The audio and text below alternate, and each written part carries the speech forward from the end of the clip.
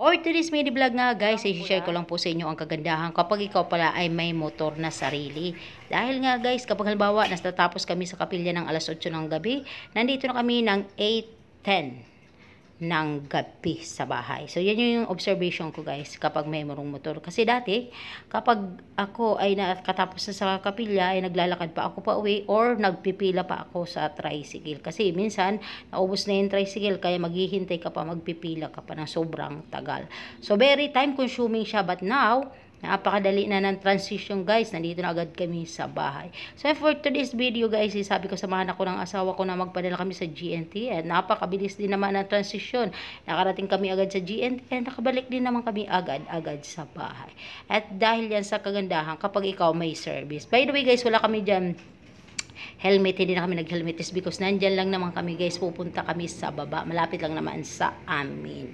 So, ganyan lang naman ang aming paligid. Parang, ano rin, parang probinsya din siya, guys. Hindi naman siya masyado uh, maunlad na maunlad. Parang probinsya din siya. Probinsya ba? So, ayun nga, nandito na kami sa, ano, nag-park na kami at nakarating na kami sa GNT. Dala na kami, uwi na kami. Hanap kami ng merienda. Guys, nandito na agad kami sa bahay. By the way, guys, nakabili nga pala kami dyan ng pakwan. Pakwan na lang dahil wala naman mga nakaluto na mga turon doon sa daan. Bibili sana kami ng merienda. At yan, hiniwa-hiwa ko na at mukhang ang pula-pula guys ng pakwan at parang ang sarap-sarap talaga niya. So yan, syempre, master tayo sa hiwaan kaya dapat pantay-pantay ang pagkakahiwa. Guys, nung natikman ko talaga ang pakwan, napakasarap at very refreshing siya. Kahit hindi pa nga siya malamig, ang sarap-sarap na.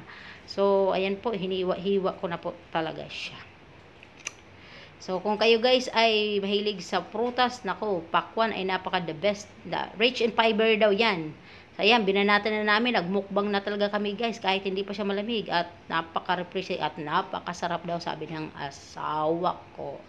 Siyempre, kapag hinihiwa mo siya, samahan mo siya ng may kasamang pagmamahal para sulit na sulit talaga ang tindi ng sarap ng isang pagkain. It's because dahil sa pagmamahal. Tuloy-tuloy pa rin ang ating pag-upload dahil guys, napakalaki ng binigay sa ating opportunity ng meta na magkaroon tayo ng ads sa mahabang video. Kaya hindi natin yan titigil hanggang sa hindi tayo sumaho dito kay Facebook.